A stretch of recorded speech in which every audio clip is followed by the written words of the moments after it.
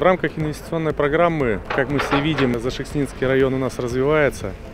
Мы прокладываем дополнительные мощности к существующим по водоснабжению Зашекснинского микрорайона.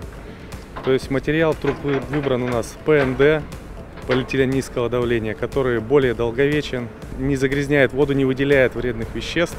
Данная стройка у нас, начало ее январь был 2021 года так как местность здесь болотистая, поэтому сроки у нас сжатые, и нужно проходить именно в зимних условиях, прокладку трубопроводов осуществлять. Длина трубопроводов на данном этапе у нас 1600 метров, первый этап, второй этап порядка такого же объема.